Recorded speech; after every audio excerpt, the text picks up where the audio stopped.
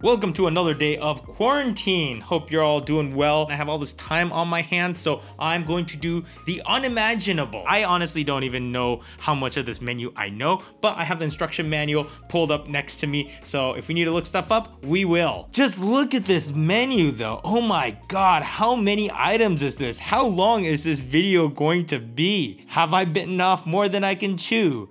Looks like it. I am Shall we just get started? Let's do it. I'm gonna throw the screen right here in the corner so you guys can follow along. File format, RAW and JPEG. I usually just shoot both and I actually lower the quality of the JPEG. I just use the JPEGs for reference and then I edit the RAW is my personal workflow. But honestly, I'm not a photographer. I don't really take that many pictures. I don't think I've taken a single picture on this camera yet. Yeah, not not one. I'm a video guy, so I usually just gloss over half this menu here. But I would like to know this stuff and I have nothing better to do with my time, so let's just keep going. Aspect ratio of the photos, 3 by 2 is pretty traditional. 16 by 9 is what I like because that's the aspect ratio of the videos. And usually if I'm taking a picture, it's for a thumbnail. So I like to have it 16 by 9 so it frames well for a thumbnail. And also 1 by 1 if you're shooting for like Instagram, you want to square 1 by 1. So there you go. There's 1 by 1 right there. But again, 16 by 9, so that should fill out this frame perfectly. Yeah, and then if I were to go to 3 by 2, that's gonna give me some borders on the sides. So 16 by 9 for my use. Long exposure noise reduction, actually something I had to look up. So every time you go over a second on your shutter speed, then now you are in long exposure mode. So when you have noise reduction on, obviously it reduces the noise from your photo. However, it takes double the amount of time to take the photo because it essentially takes a secondary photo and uses that data to get a map of the noise to remove it. So if it's a one second photo, it's only gonna take an extra second. So two seconds to take the photo, not a big deal. But if you do a 30 second exposure, then instead of it taking only 30 seconds to take the photo, it's gonna take a whole minute. So depends on what you're trying to do. If you have the time, maybe use it. If you don't, then turn it off. And then high ISO noise reduction, there's normal, low, and off. It does say you could turn it off to prioritize prioritize the timing of shooting. And it also says it doesn't affect the raw images, so I'm just gonna ignore that. Color space, I have it on sRGB. You could also switch it to Adobe RGB, but I believe this only affects the JPEGs, not really the RAW. Technically, Adobe RGB is a larger color space, but I think they said that's the most commonly encountered color issue is when people mix up sRGB and Adobe RGB. So sRGB is fine. Lens compensation. All right, we have shading, chromatic aberration, and distortion. Shading comp, is that like vignetting? So shading comp is whether to automatically compensate for dark in the corners of the screen. So yeah, I think it is like vignetting. Basically, when the corners of the screen get dark, it'll compensate for that. A lot of lenses you attach have information on how to correct its imperfections. So that communicates to the camera and fixes it right there on the spot. Moving on is scene selection. So now I have the camera itself set to scene mode. And I think these are kind of like smart modes like portraits, basically blurring away the background more, reproduces soft skin tones, um, macros shots, landscapes, sunsets, which will vividly express and dramatically capture the redness of dusk and dawn. Anti-motion blur, so reduces blur when shooting indoors with poor lighting. So it takes a series of photos and then composites it into one photo. That's kind of cool to see some smart features coming into these mirrorless cameras, but some of these smart modes take away the ability to shoot raw, so careful when using them. So drive mode, of course, we have single shooting and then we have continuous shooting on high. Nice. We have self timers from 2, 5, and 10 seconds. And self timer continuous is actually awesome because with the self timer, you could have it take several photos. Like I've always hated setting up the self timer and then running over and then posing with everyone. It takes one photo and then like somebody's blinking, you know? So this will take three shots after 10 seconds. Oh, and you could also do some bracketing. So let's say five images at three EVs. When I take this photo, it's gonna give me five different exposures. Let's go yeah, all different exposures. So you have a collection to choose from, or you can merge them, make some HDR stuff. You could also bracket your white balance and DRO. What is that? DRO stands for Dynamic Range Optimizer. So that's kind of interesting. It's like bracketing, but it just takes the photo all at once. And we can change some of the bracketing settings, including setting a self timer for the bracketing or bracketing order. So right now it starts with the exposed shots and then it shoots one under and one over Switching it to this mode, we'll start from an underexposed shot, then exposed, then overexposed. Interval shooting function. So this is interesting. You could turn it on shooting start time. So it's kind of like the self timer in a way, and then shooting intervals. So if you wanted to shoot every five seconds, I guess you could use this for time lapsing too. Number of shots, you could do a couple thousand. Yeah, you could definitely do this for time lapsing. Auto exposure tracking sensitivity. So how fast does the exposure change? So if you're doing a time lapse, a cloud comes over, how fast will it adapt to that? Like I guess if you have it on a tripod and you're just trying to take a series of photos, you're only gonna use one of them, I'd say put it on high. But if you're doing a time lapse and a cloud comes over, it's better to have it on low so it's not gonna drastically change too fast. You can make it silent if you want to. And then shooting interval priority, you could turn that on and it will prioritize the time for the shooting intervals over the shutter speed of the camera. So here we have memory recall and memory. So this is cool because if you have some funky settings that you like to regularly shoot in, you can save those settings right here. You can set it on one or two. Now these first two settings are settings on the dial itself, but if I go to M1, 2, 3, or 4, those settings are actually saved on the SD card. So that means when you format the memory card, it's gonna clear these out too. So I don't really see myself using those too much. I'm gonna probably utilize one and two though as much as possible. And after you save those settings, you could recall them through here, or you can just turn the dial to the preset here, which is probably faster. In addition from that, you could also kind of recall it through register custom shoot sets. So basically you have these three recall custom holds that you can program in. Now the hold settings are cool because you have your settings that you're shooting on and while you're pressing down a custom button, then it switches to that mode. You can take a few shots and then when you let go, it goes back to the settings you had prior. So if you're in like a really fast changing environment, like you're shooting sports or whatever, it might actually be useful there. Oh my God, we're still in page five. this video is gonna take so long. I already regret my decision to make this video. I mean, how many pages are on this menu? Holy crap we have 14 here and then nine here and more and more and more. What is that? I'm gonna do the math. 35 pages. And this has been like all photo stuff too. I'm not a photographer. Single shot autofocus, that's kind of like the default, right? So this is single point right here. Every time I half press, it finds a spot and locks it in. And then we have automatic autofocus. What is that? So basically switches between single shot and continuous depending on the movement of the subject. So it's kind of like a smart setting. So continuous autofocus, as I hold down the shutter, it's constantly searching for new things to focus on. Then there's DMF, which is kind of like a hybrid of autofocus and manual. So I can find my focus as I would normally, but then I would turn the manual focus afterwards to make the fine adjustments. So that might be useful for super shallow depth of field focusing or macro shots. So now you can set your priorities for single point autofocus and continuous autofocus. And basically you can prioritize either the autofocus or the release of the shutter. So in autofocus, it will not take the picture until it's in focus. And then if you prioritize release, it'll take the photo, but it might not be fully in focus yet. So if you prioritize autofocus, then it won't take the picture until the focus is fully there. And then if you prioritize the release, it'll still take the picture even if it's not as confident with the autofocus. And then of course, there's a balance right there in the middle. Focus areas, wide, zone, center. I'm not even gonna go through all these because I need to get this video down shorter. Focus area limit. So basically if you assign a button to to switch between the focus areas, then it's gonna just toggle through all this, which could be too many. So just disable the ones that you know you don't really wanna use. So that way you're ideally only switching through a few different focus settings instead of bunch. Switch VHAF area. No clue what that means. I am such a failure. I'm totally supposed to know all this stuff. Oh, that's kind of interesting. So basically every time you switch between this way, this way, or this way, it kind of saves the autofocus points. So let's say if I'm shooting landscape like this, I want my focus to be right there. And then if I'm shooting vertical like this, I want my focus to be over up here on the top left. So then when I switch back and forth, oh yeah, look at that.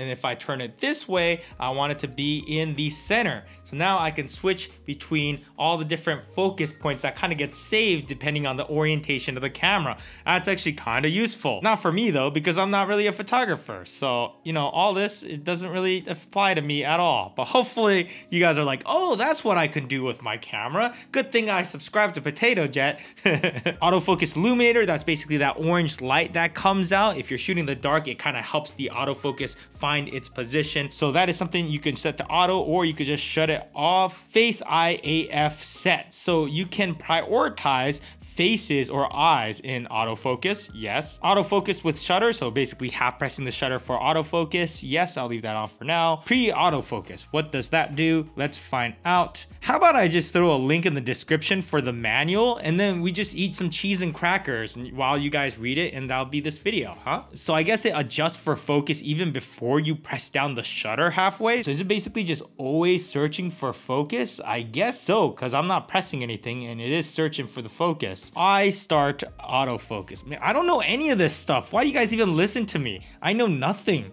autofocus starts when you look through the electronic viewfinder. This is available when you have an A mount lens and a mount adapter, an LA EA2 or an EA4 sold separately. So it sounds like this is pretty specialty stuff here, which is why it's grayed out for me. AF area registration, so you can turn it on if you want to save a focus area, and then you could always recall that area with a custom button. You could also delete the registered AF area. AF area auto clear. So basically if I hit focus on something, those green boxes stay put. But if I have auto clear on, then it should only last for a second. So I'm still holding down the shutter, but it disappears. So display continuous autofocus area, same type of concept. It just shows me those green squares. But then if I shut it off, then I no longer see those green squares anymore. Circ of focus point. Another thing I had to look up. You can either circulate it or do not circulate.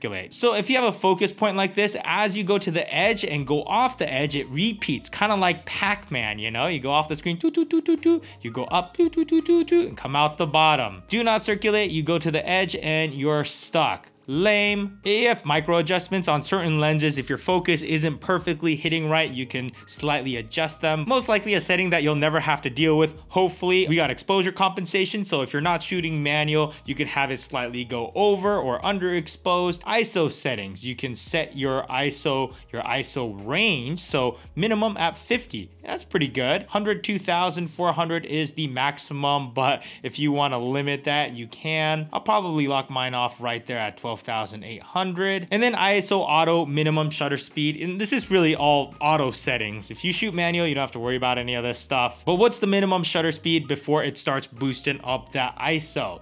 Moving on. Metering mode, how is it going to expose? So this is interesting because we have a light here, monitor here, another monitor here, and then darkness. So we have multi, we have center, we have spot, entire screen average, and then highlights. So to reserve those windows, those lights, face priority in multi-metering. So that's kind of nice. If you see a face, do you want that to take priority for your exposure? I think in most cases, yeah. If you're in spot metering mode, you could have it meter the center or also link to the focus point. So it depends on what you're trying to do. But again, if you just shoot a manual, you can ignore all this stuff. Exposure step. So every time you turn the dial, how much does exposure change? So 0.3, you're gonna have more fine increments. 0.5, you're gonna have bigger jumps, but I'll leave mine at 0.3. AEL with shutter speed, that stands for auto exposure lock. So when you hit the shutter, does it lock the exposure on, off, or auto? Exposure standard adjustment, something that most of us don't need to care about. Essentially baselining your exposure, but even on the menu it says generally adjustment is not necessary. So let's ignore that. And then we have flash. You know, I know I said that I was gonna go over every single thing, but let's just kind of skip the flash stuff. I mean, that's just, there's too much stuff in this. There's red eye reduction, which will flash the strobe before the picture is taken taken to reduce red eye. Oh man, we made it through the first 10 pages. I need to take a break. I'm gonna take a nap. All right, see you, uh, I'll be back.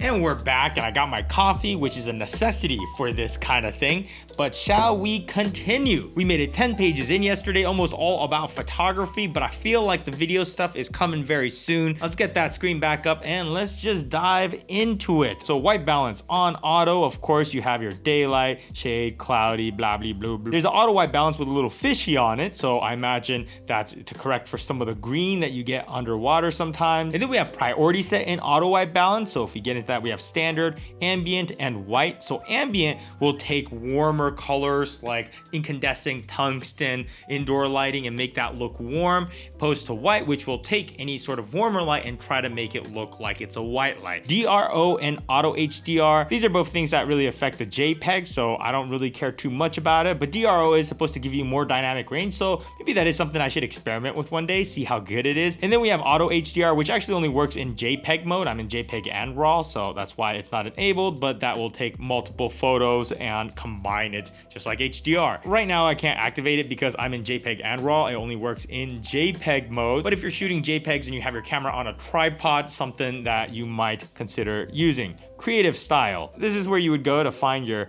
general looks like sepia. I remember when I used to think sepia was so cool. Never. I'm just gonna leave this on standard. Actually, I don't think it really even matters because I usually turn on a picture profile. So if you have those on, it basically disables your creative styles anyways. Now picture profile is really where I'm gonna wanna go to adjust my color for video. So you can go into a picture profile and customize it. So we have HLG2 for my gamma, another popular one, S-Log2, Cine 4, Movie. These are all popular options, but that could be its own video. You can change the color mode from 709 to BT 2020. Definitely one of the things you really want to get to understand for videographers to maximize the capabilities of these cameras. I'm just gonna leave it off for now. Keep things simple. Then there's picture effects, which will give you a toy camera mode. Looks like it gives you a vignette and more contrast a pop color and posterization. Whoa and a bunch of other stuff that I will never ever touch, but it's there if you want it. All right, next page, shutter auto white balance lock. If you're shooting auto white balance, do you want it to lock in after you halfway press the shutter or if you're shooting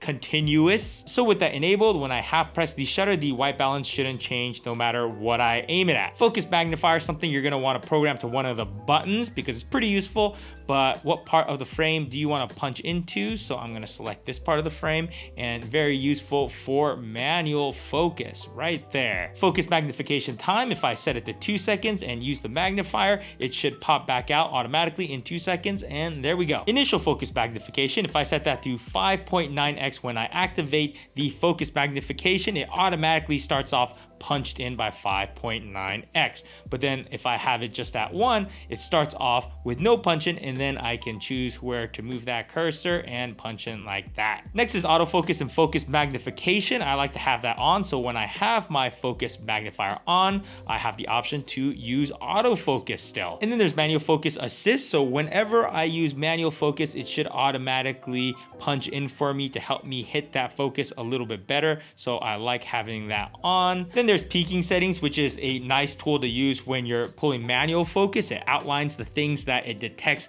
as sharp or a lot of contrast, and you could put a color. And by default, I think it's white, but I have mine at red. But focus peaking is especially useful when you're using a small monitor like the one on the back of the screen. Next is face registration. So we have the fabulous Sam here.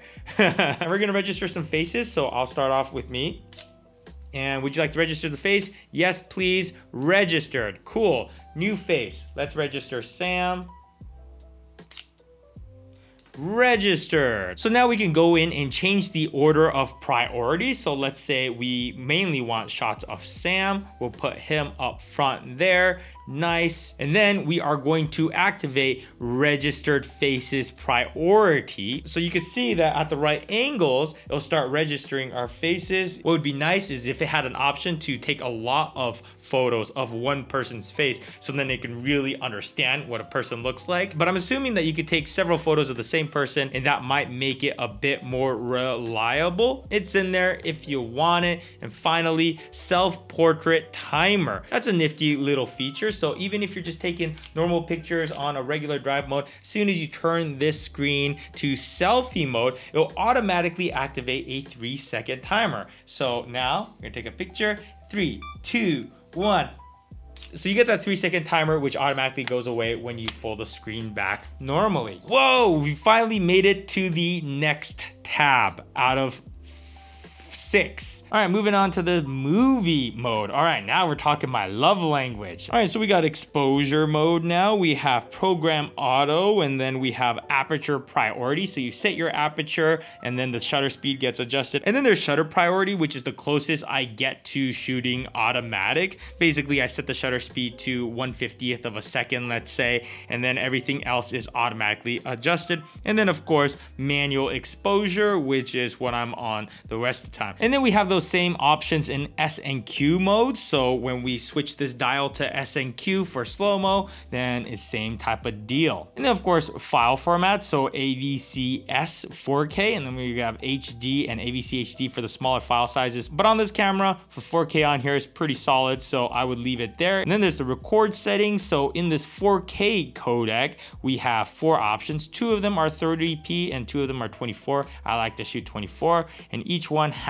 different bit rates. So 100 megabits per second or 60 megabits per second. I just go 100. I want the best quality coming out of here. If you're really short on space, then you could shoot 60. But then I wouldn't suggest shooting on a picture profile. Like if you're shooting no picture profile, you could probably get away with this, but try to do 100 megabits per second as much as you can. And this particular camera uses the full sensor when I'm shooting 24, but notice that there is no Super 35 option with the 30p. So those crop in slightly, not terribly, but this camera, there is a slight crop at 30p. Moving on to S&Q settings. Of course, we have our record settings. So what file format do we want our project to be at? Again, I'm shooting 24, so I want the project to be at 24, and then the frame rate that it will automatically jump to when I switch that dial. So for me, most of the time, I'm maximizing it out at 120 frames per second, and my record setting is at 24. But one thing to keep in mind about the S&Q switch is that you do record at a lower bit rate. After your clip is converted to slow-mo, you only have 12 megabits per second, opposed to when you dive into the menu, switch it from 4K to HD, and then set this to 120p, you have the option to 60 megabits megabits per second, which is what the S&Q switch does, or 120p at 100 megabits per second. So that's actually gonna give you a higher resolution. Why the hell couldn't they give us the 100 megabit per second option in the S&Q switch? That would have made so much more sense. Like it looks like you have the option to change every little freaking thing in this camera, except for that, which is weird. You can also turn on proxy recording if you want. So when you're filming in the XAVC S codecs, then it will create a secondary file for you. That's just more of a preview or proxy file. Something that could be useful in some cases, but I generally just edit the native 4K files, so I'm just gonna leave that off. Next page, auto drive speed. So you can have it drive fast, normal, or slow. So the manual suggests using fast for something like shooting sports, and then normal is kind of your default, and then slow is when you want your focus to rack smoothly. And then autofocus tracking sensitivity, I might actually jump that over to responsive. Why not? This mode's pretty self-explanatory. This mode is useful when recording movies in which the subject is moving very quickly. And then auto slow shutter is really only useful if you're shooting in auto setting or aperture value, but basically it slows down your shutter when it gets dark. But I personally never let the camera decide what the shutter speed is going to be. I always like to lock that in, so not really a feature I care about. Initial focus magnification, same thing as before. We can have it start off at 1x or immediately punch into 4x. And then audio recording level sets your audio level. So depending on what mic you put in there and how loud your environment is, you want to adjust that. Moving on to audio level display. Yes, we want that display on our screen. Monitoring your audio levels, very important. Audio out timing. So when you have HDMI coming out of this camera, there's a slight, slight lag in the image. So if you have the audio out to live, that will send out the audio immediately as fast as the camera can process it because it can process the audio faster than it can process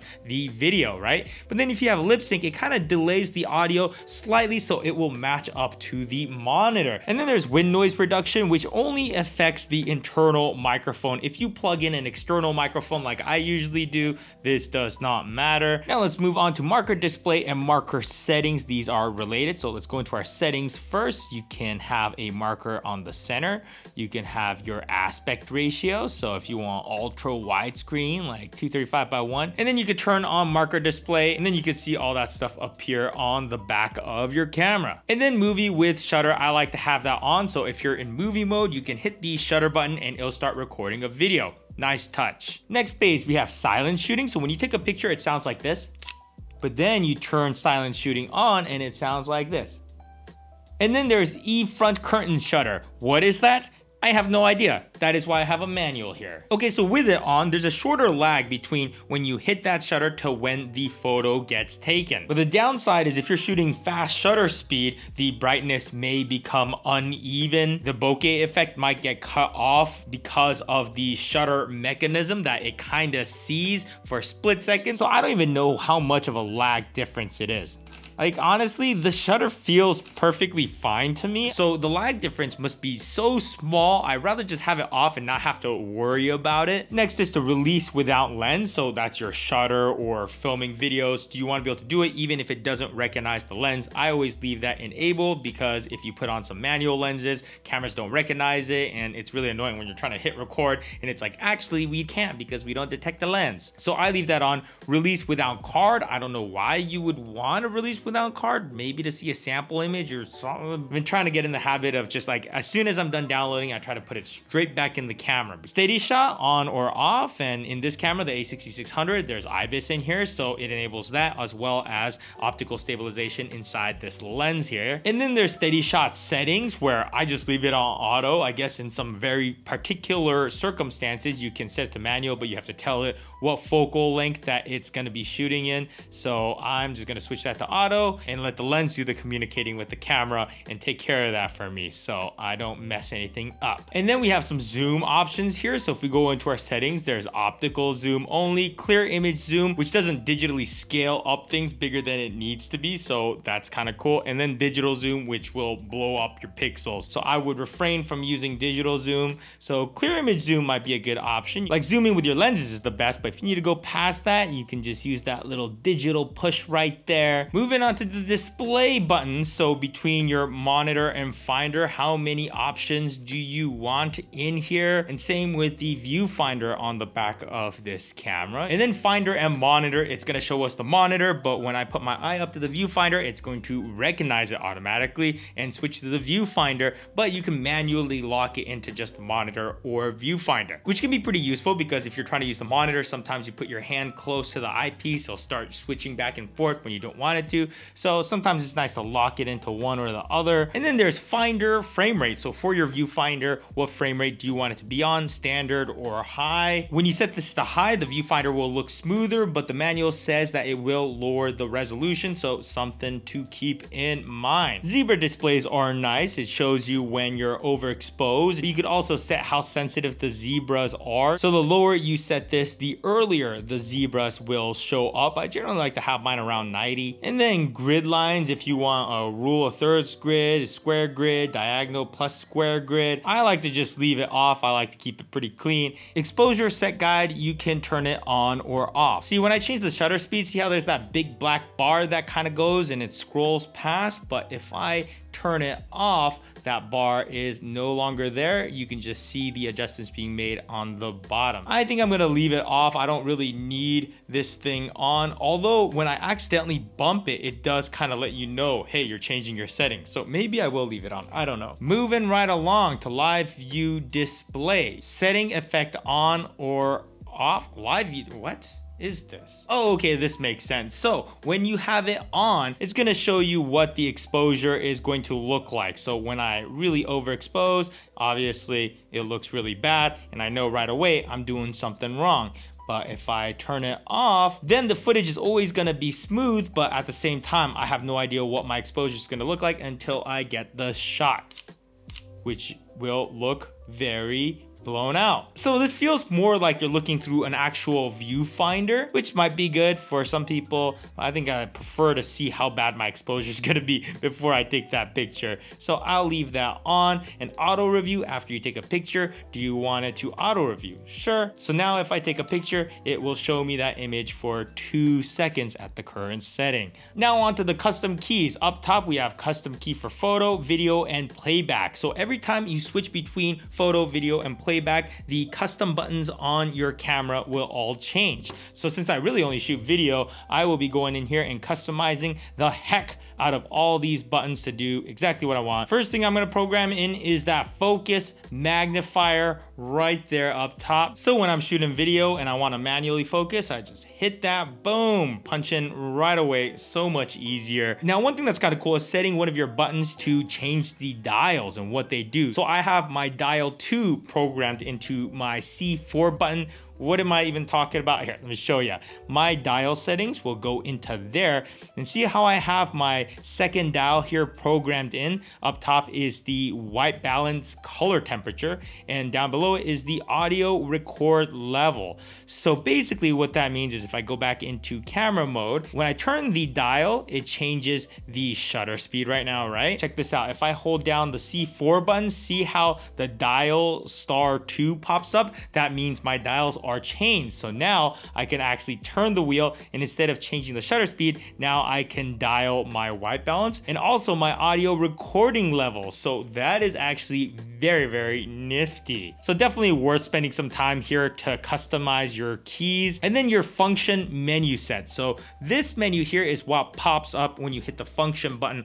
on the back of your camera. So if I'm in video mode and I hit that, that same thing pops up right here. And again, I'm a video guy, so I would actually swap out a lot of this stuff for video features. That way I can access it a little bit quicker. How about steady shot? That way I can toggle it on and off pretty quickly. So very easy access to my steady shot now. So these five things right here, spend time there, program in all your quick access items. And then finally dial and wheel setup. Right now I have one set to aperture, the other set to time value or basically your shutter speed, but you can flip flop it if you want. And then off to the next page, AVTV rotate, that basically means your dials, you can reverse them if you want to. They just give you options to change everything. I feel like they should almost have like an advanced menu and they should hide a lot of this crap in there because this is almost too much. But I guess on the other hand, once you get everything dialed in and set up all your custom buttons, you never really have to dive back into this menu that often. But I will say the first time you pick up the camera and start dialing through this, it is overwhelming. And then there's dial and wheel EV compensation. So you can set either your wheel or your dial to one of those. But if you're shooting manual, doesn't really matter. Now, when it comes to function of touch operation, you have touch shutter, touch focus, and touch tracking. Basically, when you touch the LCD back here, what do you want the camera to do? And then we could go to movie button. So you can set this to always or movie mode only. So there is a little red dot here. That's your record button. Do you want it to always trigger recording a movie or only in movie mode? So if you take a lot of photographs, rarely shoot videos, you might want to just make it movie mode only so you're not accidentally bumping into it. But again, I'm a video guy. I want it to always be there. And then there's dial and wheel lock. I have it enabled on lock right there. So I can basically press and hold the function button, I think for something like five seconds, and it will lock the dials for me to get out of it. Guess what? You press and hold the function button again unlock. There we go. If you don't care for that feature, you can turn it off. And then finally, audio signals. Do you want your cameras to make all kinds of beeps and stuff? Or do you want it to be quiet? I like it to be quiet, so let's turn that off. Oh man, we made it to the third tab, guys. I need another nap. And by nap, I mean go to sleep for another 12 hours. I'll be back tomorrow. And the saga continues. I feel like that moment in Jumanji when Robin Williams pops out of the game for the first time and he's like, what? Year is it? I feel like my brain has been trapped inside of this complex menu. And with the quarantine, I feel like my days are all mixed up. I have no idea what time or day it is. But today will be the day we complete this expedition. Yeah, that's the word to describe this. Going through an expedition. What is that? Actually, am I using that word right? A journey or voyage undertaken by a group of people with a particular purpose, especially that exploration, scientific research, or war. This is exactly it. Expedition. That's what we're doing. All right, we made it to the network. Sent to smartphone function. So there's an app that you can sync up to called Play Memories, and it has a 1.1 star rating on the App Store out of five. I'm trying to download it and I'm trying to sign up, but it's giving me all these error messages, so I can't even create an account right now. I'm just gonna, you know what, forget it. But apparently you can send photos and videos to your phone through the app if you want to. Next item, send to computer computer, same type of thing, except for to your computer, you can install Play Memories Home on your computer and register the access point, set up a broadband router, blah, blah, blah, blah, and send pictures to your computer. View on TV. Apparently you can view images on a network-enabled TV wirelessly. You can use this function on a TV that supports DLNA renderer, but movies cannot be shown on a TV via Wi-Fi, so you have to use the HDMI cable sold separately, so I would never do this. Next is control with a smartphone if you want to wirelessly control the camera via Wi-Fi. Next is airplane mode. Had no idea this camera had that setting, so whoops for all the times I flew with this camera without turning that on. Then there's Wi-Fi settings. There's the WPS push, access point set, display MAC address, SSID PW reset. No idea what any of that means. Wi-Fi stuff gives me a headache. I guess it's kind of cool that there's all these wireless options on this camera, but really, I think I'm just gonna pull out the memory card, stick it in, do it old school. And aside from Wi-Fi, there is also Bluetooth settings. For what exactly? No idea. So Bluetooth apparently is used to connect to a smartphone or Bluetooth remote commander via Bluetooth connection. I like that. Remote commander. It's not a remote controller, it's a commander. And then there's location info link set. So if you hook this up to your phone, you can automatically have it update your camera on the location info and then auto time correct, which is kind of nice. And auto area adjust why is there an auto area adjust and location info? What is the difference between those two? Uh, how about we just skip this for now? Bluetooth remote control can be used with a remote commander RMT P1BT, which is sold separately if you want to use that. And then there's edit device name. Oh, okay, let's do this. Oh my god, this is gonna take a long time. Potate. I'll just go with that. That's gonna take too long.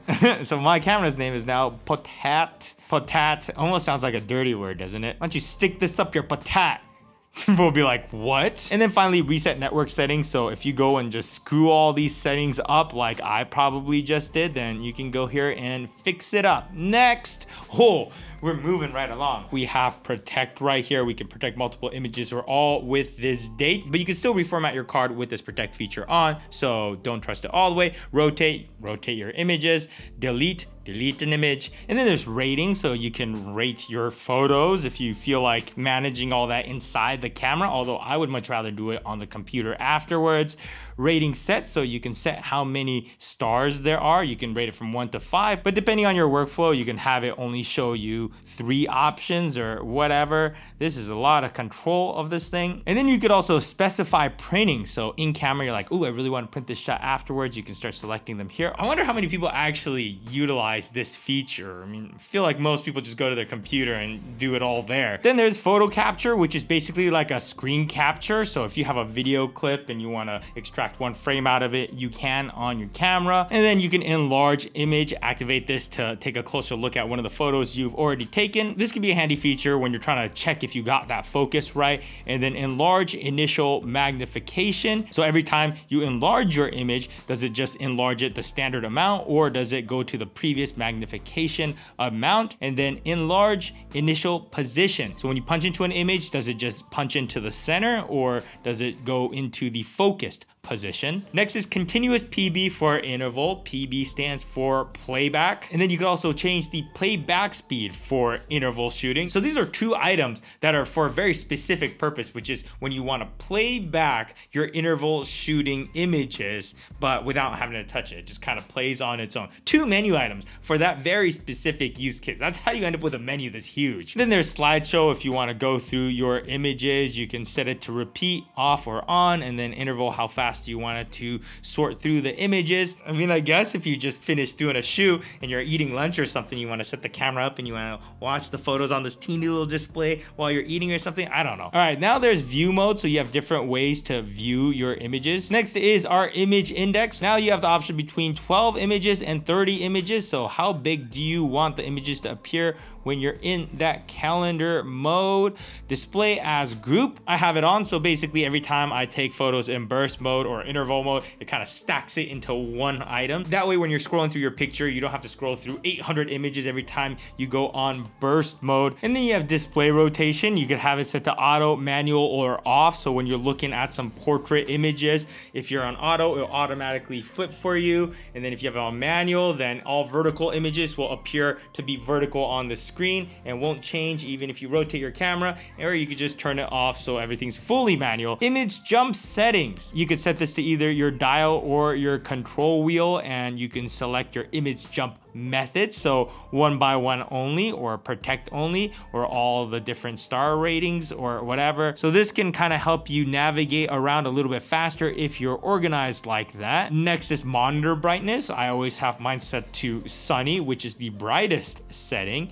And then viewfinder brightness, same type of deal, just the brightness in the viewfinder. And then viewfinder color temperature, you could slightly adjust that if needed. I've never touched it. And then there's gamma display assist. So if you're shooting in S-Log, then this is kind of like applying a LUT to it. This does not get baked into your shot. This is just for reference. So you're not looking at a flat image on the back of your screen. So that is nice. Volume settings. And then there's delete confirm. Another one of those settings where if you really, really want to change every little aspect of your camera, you can get into this. You can select either delete first or cancel first. So if I'm looking through some images, I want to delete that. See how it goes to cancel first and then I go up and then hit delete the other way, you could have it pop to delete first. See, another very subtle change to your camera. That is another menu item. It's starting to make sense why this menu is so insane. It's because there's so many settings you can change. Honestly, I think going through all this stuff is like mental effort that is exhausting, that doesn't need to happen. But I don't know, some of you guys tell me, is it these features that you actually want or does it just make the menu more complicated? Because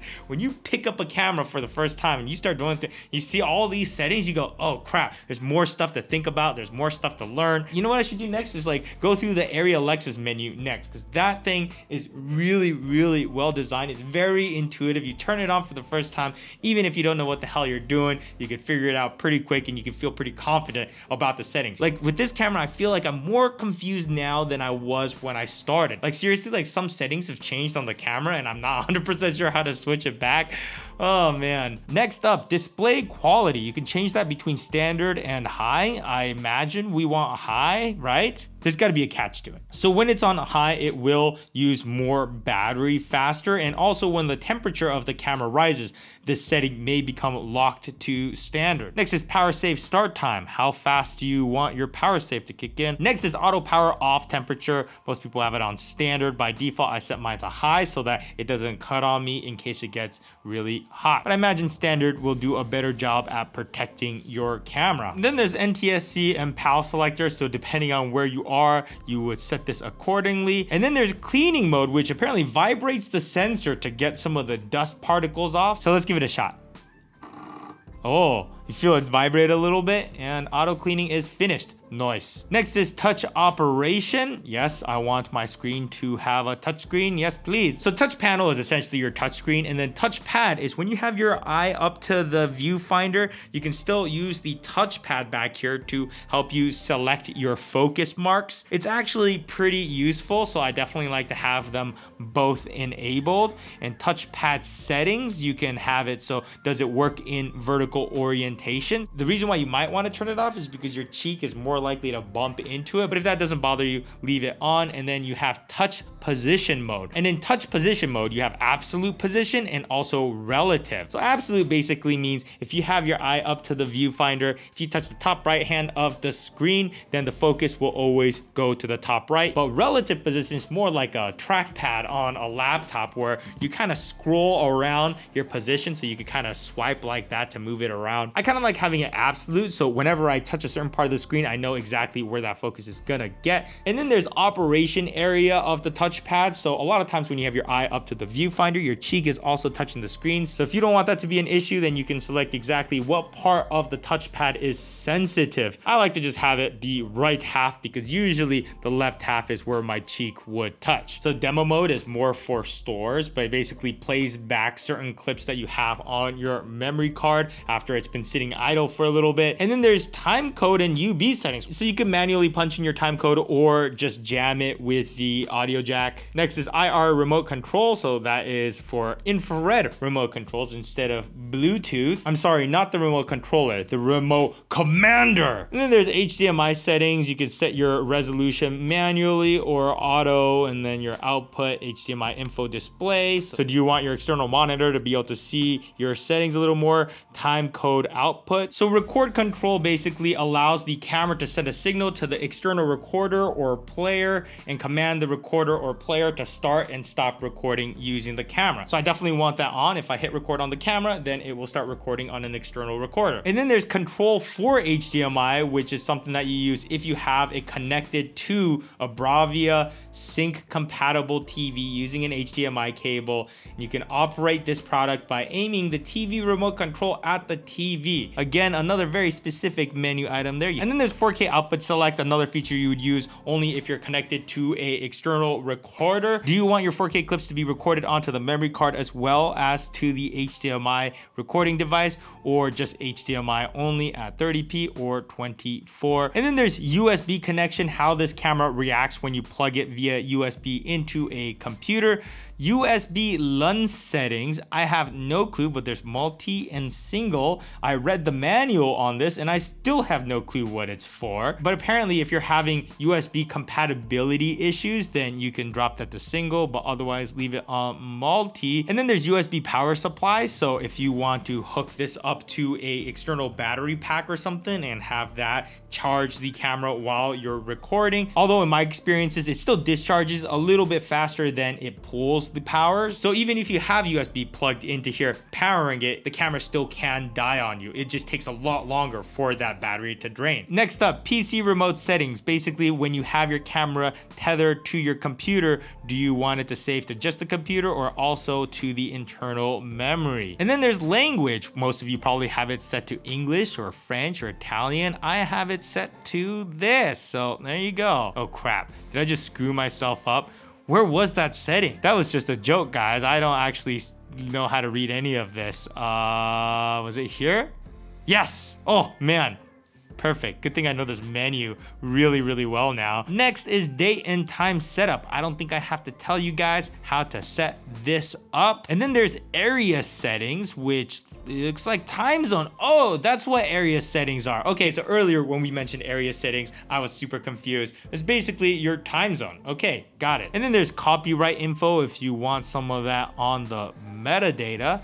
And then there's format if you want to format your memory card. Don't really want to do that yet. And then for your file number, there's a series or reset and then set file name. You can adjust that. So does that mean I can set all my files to be po rotate. Oh, it's only limited to three characters. So the files will be POTS01234. And I deliver files on this camera, clients are gonna be like, is he stoned? Select record folder. Basically, where do you want your folders to go? And you can also create a new folder. And then there's folder name, which is standard form, or you could also set it by date. That's actually useful. I would like that. Recover image database. If something goes funky with your memory card, this will try to correct it. And then there's display display media info tells me I have 2 hours 39 minutes in movie mode and then version number. Finally, setting reset which will just completely undo all the changes I have done. And then finally this is the my menu. So out of all the things that we talked about you can use these to customize your favorite things and you can plot them right here so that you never have to go through all this crap again. Oh gosh are we finally done? Now I know the full Sony menu and you guys do too. You could seriously customize the crap out of this camera camera, get it exactly how you want it. So if you want to do the deep dive and set your camera up exactly how you want it, I could see how some of this stuff is useful, but geez, that took so long. How long is this freaking video? Oh my god, I can't believe you guys are still watching. That was nuts. Like, you know how people are always saying that Sony menus are the worst? I think that's just because of how many options that they give you right there in the menu. So even if you're a beginner, first time picking up a Sony camera, you go through the menu and naturally you go, I need to make sure I set all these things correctly. But then you look through and there's all this stuff that doesn't totally make sense right away. And I feel like what would help is if they were to hide a lot of these super intricate settings into like an advanced folder or something like that. But holy cow, that was draining. Exits this way. I don't know why I went that way.